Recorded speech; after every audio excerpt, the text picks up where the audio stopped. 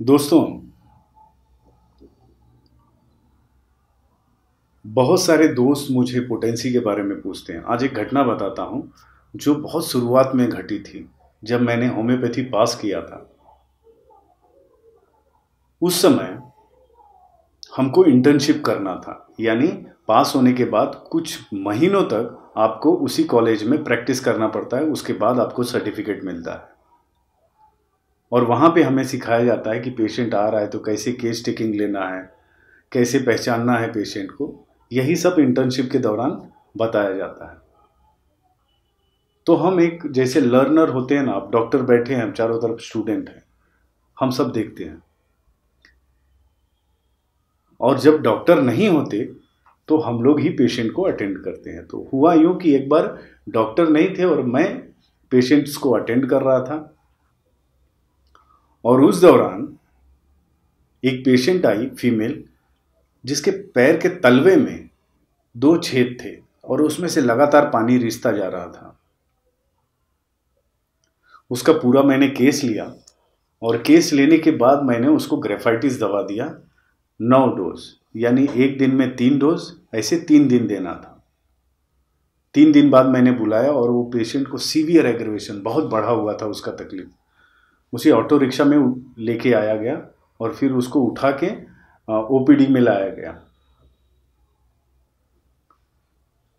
वहाँ पे सर ने बोला कि ये पेशेंट को किसने दवा प्रिस्क्राइब किया? मैंने कहा, मैंने और मुझे बहुत डांट पड़ी थी दोस्तों। पेशेंट चले जाने के बाद मैंने पूछा, सर, मैंने गलती कहाँ की है? गलत दवा मेरी गलत है?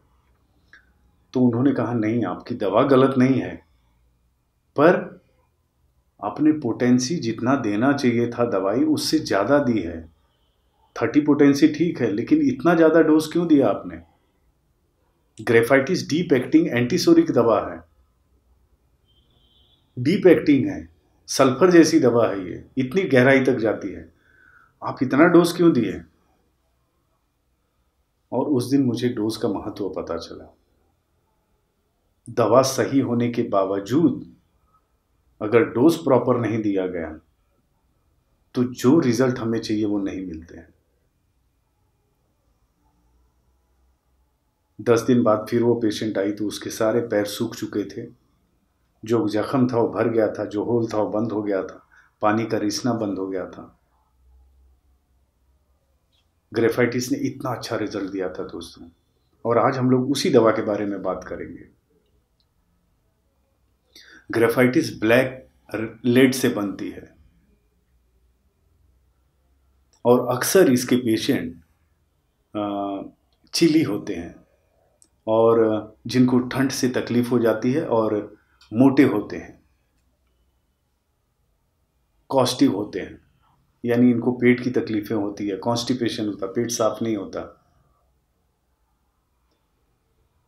मोटे होने की वजह से हमेशा जो न्यू बिगिनर्स हैं, वो कंफ्यूज हो जाते हैं इसमें और कैलकेरिया काप में। अपियरेंस पे कह रहा हूँ सिम्टम पे नहीं।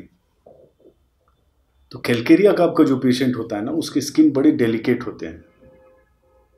वो थोड़ा सा धूप में जाएगा और धूप से जाके आए तो आप देखेंगे पूरा लाल हो चुका रहता है। ऐसे लगता है स्किन के नीचे ही पूरा ब्लड है।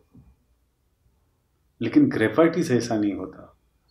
ग्रेफाइटिस के चेहरे पे पीलापन होता है। उसकी मोटी चमड़ी होती है थिक होती है। ग्रेफाइटिस एनिमिक होता है। नॉट इट कुछ कुछ जगह पे ग्रेफाइटिस बहुत ज़्यादा सेंसिटिव है। जैसे sensitive to smell, sensitive to light, sensitive to trifles. अब जैसे ग्रेफाइटिस आँखों के लिए बहुत अच्छी दवा है। बहुत सारे प्रॉब्लम जो आँख के हैं, वो ग्रेफाइटिस से ठीक होते हैं। अब जैसे स्क्रोफुलस ऑप्थेलमिया ले लीजिए। आँख आती है ना, वो, उसमें इसके दो सिम्टम बड़े प्रोमिनेंट हैं। एक तो फोटोफोबिया वो लाइट की तरफ़ नहीं देख सकता है। और दूसरा लैक्रीमेशन उसके आँख से पानी बहुत गिरता है। और वो पानी क्रोसिव होता है म्यूकोप्रिलेंट पतला होता है, लेकिन म्यूकस और पस जैसा दिखता है म्यूकस रहता है उसमें। लेकिन जहाँ लगता है, वहाँ की खाल उधड़ जाती है। क्रोसिव एक्सकोरिएटिंग होता है। ग्रेफाइटिस के जो पेशेंट के आई कंप्लेन में ये जो कॉर्नर्स हैं, यहाँ पे क्रैक्स होते हैं। यहाँ आईलिड्स पे क्रैक्स हो सकते हैं। वहाँ पे स्कैप्स हो सकते हैं पश्यूल हो सकता है, आँखों में अल्सर हो सकता है।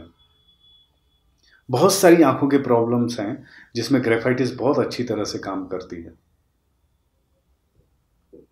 इसके आईलिड्स हैं आईलिड्स इसके थिक हो जाते हैं, मोटे हो जाते हैं। और कुछ ऐसे सिम्टम हैं आइज़ में। जैसे बच्चा अगर लिख रहा है तो एक ही वर्ड डबल डबल दिखते हैं उसको। अगर बच्चा पढ़ाई कर रहा है तो उसको लगता है कि सारे जो शब्द हैं, जो वर्ड्स हैं, एक दूसरे के पीछे भागे जा रहे हैं।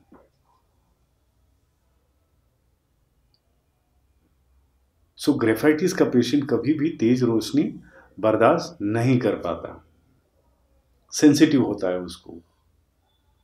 उसका जब चेहरा देखेंगे आप तो उसके चेहरे पे चिपचिपा चेहरा रहता है उसका, और उसे ये महसूस होता है कि उसके चेहरे पे मकड़ी का जाला है।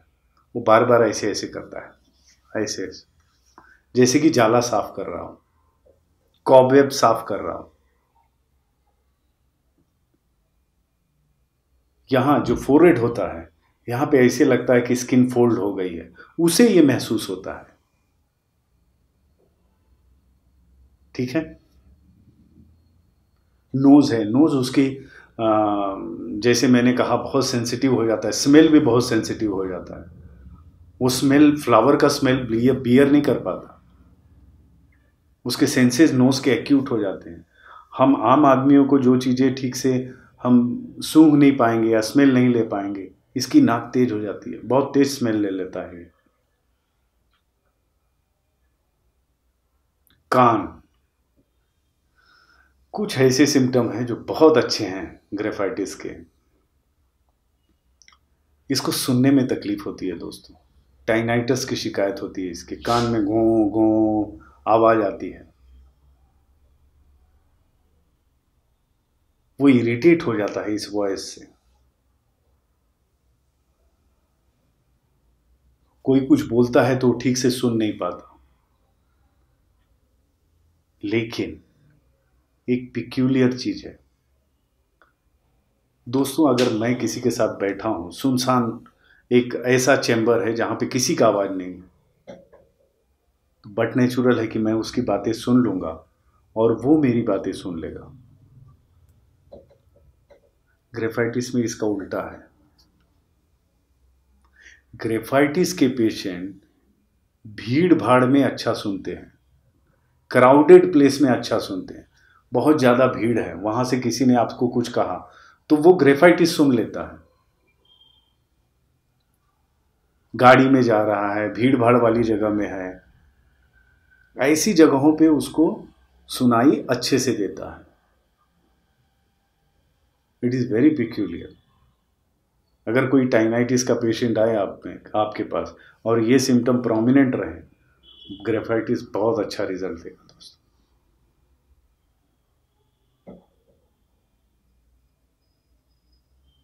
इसको मीठी चीज़ें पसंद नहीं होती है। पेट से ये बड़ा दुखी होता है।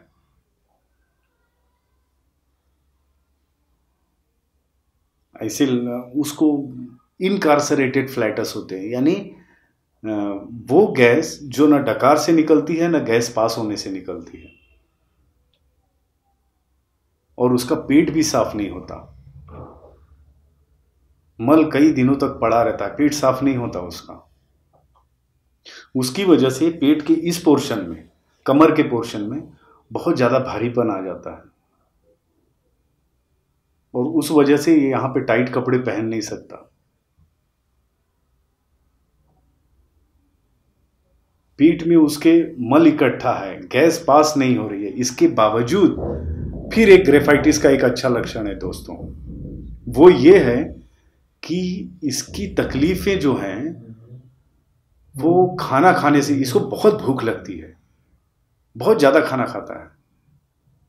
और इसकी जितनी पेट की तकलीफें हैं, ये सारी तकलीफें खाना खाने से कम हो जाएँगी। जैसे पेट में अगर अल्सर हुआ या गैस्ट्रालिया पेट दर्द कर रहा है, या पेट में कैंसर है, कोई भी चीज़, कोई भी पेट की बीमारी ले लीजिए, वहाँ पे अगर पेशेंट को खाना खाने के बाद कम हो जाए तकलीफें तो ग्रेफाइटिस को ज़रूर याद करना। हालाँकि और भी दवाइयाँ हैं, पेट्रोलियम है, एनाकार्डियम है, बट बाकी के सिम्टम मैच करते हुए ग्रेफाइटिस को भूलना मत। इसका जो मोशन है, ये मोशन जैसे छोटे छोटे टुकड़े होते हैं ना मोशन के, ड्राई एकदम गोल गोल छोटे छोटे टुकड़े, वो आपस में एक दूसरे से जुड़े होते हैं म्यूकस के थ्रेड से। जिसको आम भाषा में आव कहते हैं।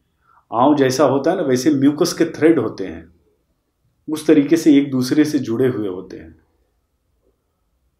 और ये लार्ज स्टूल होता है।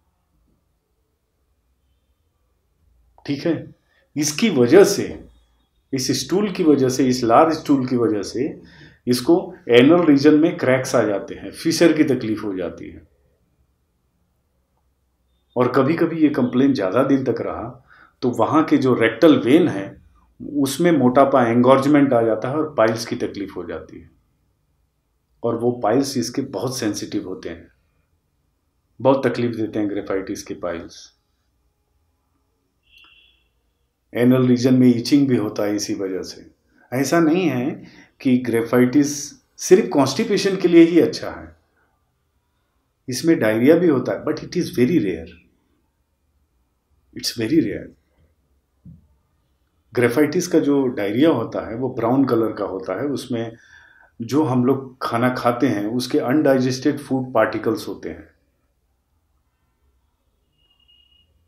और इसका डायरिया बहुत बदबू बदबू बहुत होता है उसमें ऑफेंसिव ऑर्डर होता है। इसके जितने भी डिस्चार्ज हैं दोस्तों, जितने भी डिस्चार्ज हैं, सब ऑफेंसिव है, सब में गंद गंध आती है। चाहे वो यूरिन हो, चाहे वो डायरिया हो, चाहे वो आँखों का लैक्रिमेशन हो, कान का हो मेंसेस हो, हर जगह बदबू रहती है। यहाँ तक कि इसके मुँह से भी बदबू आती है। सड़े हुए अंडे जैसी रॉटन एक जैसे। सो इसकी जितने डिस्चार्ज हैं सब ऑफेंसिव है। सारे डिस्चार्ज एक्सकोरिएटिंग है। एक्सकोरिएटिंग का मतलब है वो डिस्चार्ज जहाँ लग जाते हैं वहाँ रॉनेस बन जाता है। और स, जितने भी डिस्चार्ज हैं जैसे स्किन के डिस्चार्ज बोलता हूँ मैं पहले हम ये कंप्लीट कर लेते हैं दोस्तों। ये पेट का हो गया। अब आते हैं हम लोग फीमेल्स में। इसको मेंसेस बहुत कम होते हैं। अगर ग्रेफाइटिस की लेडी है, मोटी होगी कॉन्स्टिपेशन होगा मेंसेस भी कम होता है इसको। स्केंटी मेंसेस होता है लेट होता है। इसको पल्सेटिला का क्रॉनिक कहा गया है। यानी जहाँ पल्सेटिला काम करके रुक जाए, उसके बाद इसकी ज़रूरत पड़ती है। जैसे नक्सोमिका का सल्फ़र है। बेलाडोना का कैलकेरिया काब है, उसी तरह से पल्सेटिला का ग्रेफाइटिस है।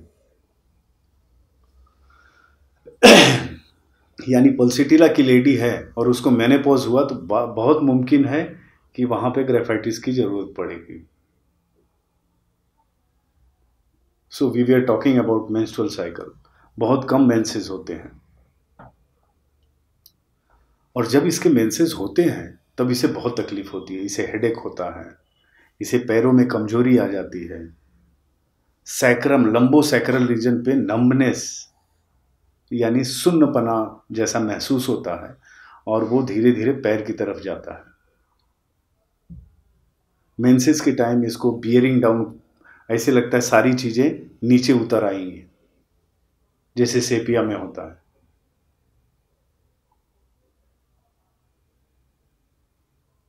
इसके यूटेरस हैं। यूटेरस का जो यूटरस का स्वेलिंग हो जाता है, यूटरस का माउथ जो होता है उसमें हार्डनेस आ जाता है, इसकी ओवरी स्वेल हो जाती है और हार्ड हो जाती है। ये मेंसेस के टाइम बढ़ जाता है सारी तकलीफें। और मेंसेस खत्म हुआ तो ल्यूकोरिया। मेंसेस के पहले भी ल्यूकोरिया, मेंसेस के बाद भी ल्यूकोरिया। और ल्यूकोरिया गंद ऑफेंसिव जैसे मैंने पहले कहा ना, कि इसके सारे डिस्चार्ज ऑफेंसिव होते हैं मेंसेस भी और ल्यूकोरिया भी। ल्यूकोरिया में गंध आती है इसके। ल्यूकोरिया लगातार बहते रहता है whole day and night before menses after menses मासिक के पहले और मासिक के बाद में। जहाँ भी लगता है ल्यूकोरिया वहाँ की, वहाँ रॉनेस हो जाता है, ऐसे लगता है खाल उधड़ गई हो। और कभी कभी मेंसेस की जगह पे ये ल्यूकोरिया आ जाते हैं। यानी मेंसेस अपसेंट होके वहाँ पे ल्यूकोरिया आ जाता है। सो फीमेल जेनाइटल पे ये बहुत अच्छा काम करती है। मेल जेनाइटल पे भी इसका अच्छा काम है। जो सेक्सुअल एब्यूज की वजह से बहुत ज़्यादा सेक्सुअल एक्टिविटी में लीन रहते हैं कुछ दिनों बाद ऐसे महसूस करते हैं कि उनको सेक्स से अनिच्छा हो जाती है। उनको खुद को अनिच्छा हो जाती है। वो नहीं चाहते सेक्स करना। इरेक्शन का प्रॉब्लम होता है। सीमेन अपने आप निकल जाता है। So they don't like they dislike intercourse इसका जो स्किन होता है, इसका स्किन थिक होता है दोस्तों। इसके इरप्शन के कुछ साइट हैं, जैसे उंगलियों पे और टोज पे ग्रेट टो होता है वहाँ पे, उंगलियों के बीच में, सर पे, कान के पीछे जेनाइटल्स पे, ये इसके प्रोमिनेंट साइट हैं जहाँ पे इरप्शन होते हैं। इसके इरप्शंस विंटर में बढ़ते हैं। और इसकी स्किन रफ रहती है, ठीक और रफ एक और साइट है ग्रेफाइटिस के इरप्शन का दिस बेंड जो पोर्शन होता है ना, जहाँ जहाँ बेंड है, यहाँ पे बेंड है, घुटनों में है, यहाँ पे हो सकता है। जहाँ बेंड है, वहाँ पे होता है। और जो स्किन होते हैं ना, उसमें क्रैक्स पड़ जाते हैं, उसमें से ब्लीडिंग होती है पेनफुल होता है।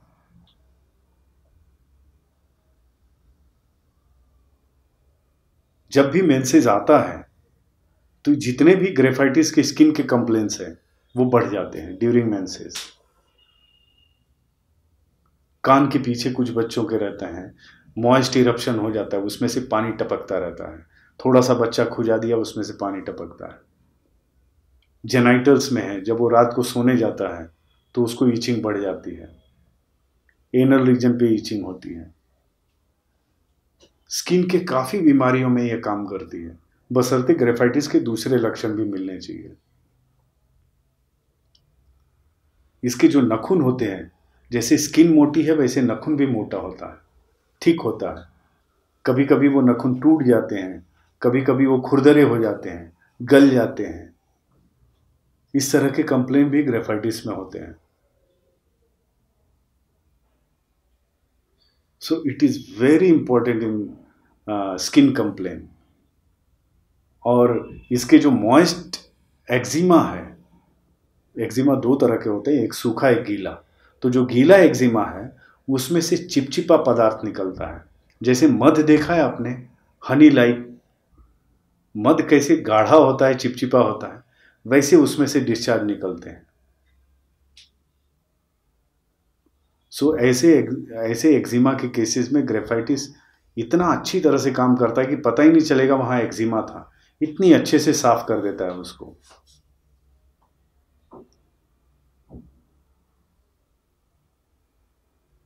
एंड नाउ माइंड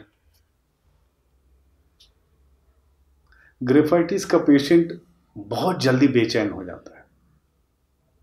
बहुत ज़्यादा एंशियस नर्वस इम्पेशेंट ये सारे गुण ग्रेफाइटिस में होते हैं। छोटी छोटी बातें जो आम आदमी के लिए कुछ कैजुअल होंगी। लेकिन ग्रेफाइटिस उसको मन तक ले लेता है। अरे, क्या होगा अबे अभी क्या होगा? अभी क्या होगा? छोटी छोटी बात में बेचैन। उसका खुद का कॉन्फिडेंस बहुत डाउन होता है। और इस लो कॉन्फिडेंस की वजह से वो बहुत ज़्यादा बेचैन होता है। किसी चीज़ की एश्योरिटी नहीं रहती इसकी। ये काम अपना सब कुछ करता है और सब कुछ सफ़ाई से भी करता है। लेकिन दोस्तों, एक होता है ना, जैसे अभी कोई चीज़ काम कर रहे हो तो उसका प्लान आप करते हो। उसका प्लान बनाते हो आप। और प्लान बनाने के बाद उसमें अपना इंटेलेक्चुअल यूज़ करके उस काम को कंप्लीट करते हो। पर ग्रेफाइटिस ऐसा नहीं है। ग्रेफाइटिस प्लान नहीं कर सकता। उसको काम दे दीजिए, वो पूरा करेगा। खुद का इंटेलेक्चुअल यूज़ नहीं करता वो। क्योंकि इसका कंसंट्रेशन बहुत पुअर होता है। वो कंसंट्रेट नहीं कर पाता। और यहाँ यहाँ भी इसका एक खास लक्षण ये है दोस्तों, कि जो प्रेजेंट में हो रहा है ना, वो उसे याद नहीं रखता।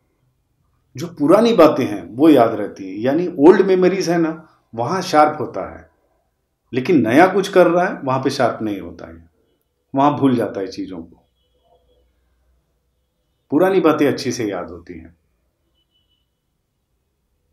अभी समझिए ग्रेफाइटिस का पेशेंट कहीं चला गया। ग्रेफाइटिस लाइको दो हैं। दोनों चले गए मूवी देखने। तो ग्रेफाइटिस आपको हर चीज़ बताएगा। ये स्टार्ट में हमने ये देखा, इसके बाद नाम आया, फिर ये गाना आया, ये फलाना निकाना सब सिस्टमेटिक बताएगा, साफ़ सफ़ाई से। लेकिन उस, उससे ये पूछेंगे ना कि व्हाट वाज द मैसेज तो वो थोड़ा कंफ्यूज हो जाता है। और लाइकोपोडियम आपको मैसेज बता देगा। इस पूरे पिक्चर का सार क्या था? ये फ़र्क है। ये चीज़ें मैं बताना चाहता हूँ। ये इरेसोल्यूट होता है डिसाइड नहीं कर पाता क्या करना है। कंफ्यूजन रहता है। अच्छा ऐसा पेशेंट है।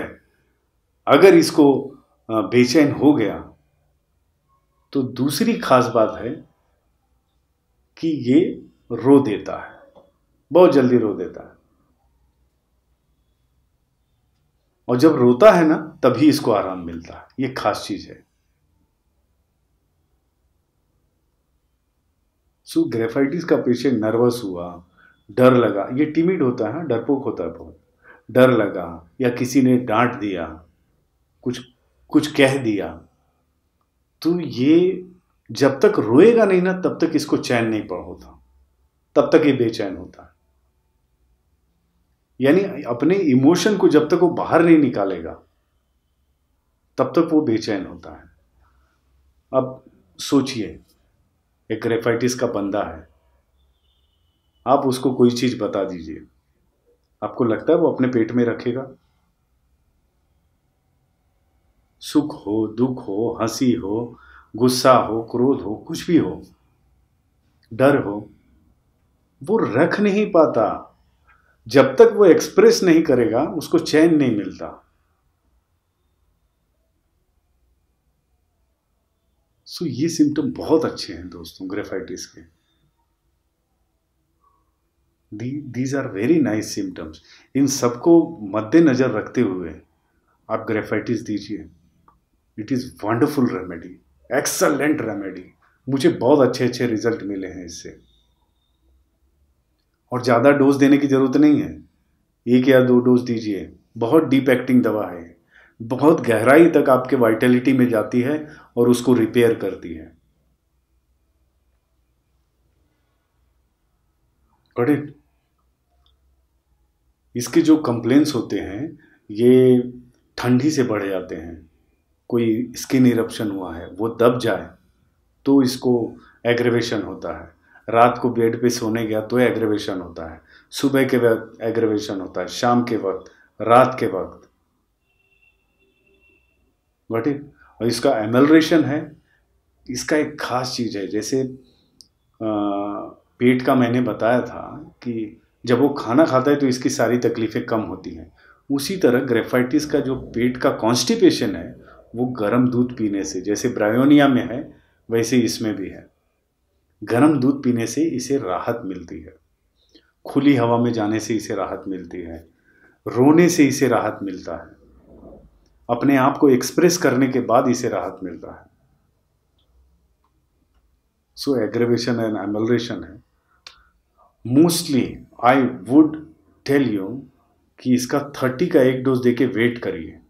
ये बहुत डीप एक्टिंग है। ये एंटीसोरिक रेमेडी है दोस्तों। उसके बाद ज़रूरत पड़ी तो 200 पावर दीजिए, वरना मत दीजिए। और 200 पावर का भी सिंगल डोज। दोस्तों, ग्रेफाइटिस के बारे में ये सारे इंफॉर्मेशन जो छोटे से समय में आप लोगों को दे सकता था मैंने दिया।